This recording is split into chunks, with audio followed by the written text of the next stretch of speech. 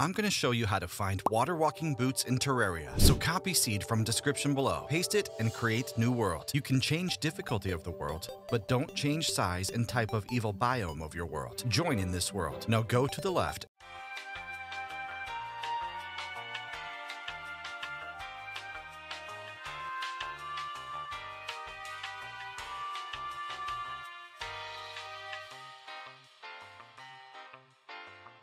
until you see the ocean at the bottom, of which you can find the chest with the water walking boots. I hope this video was helpful. Goodbye.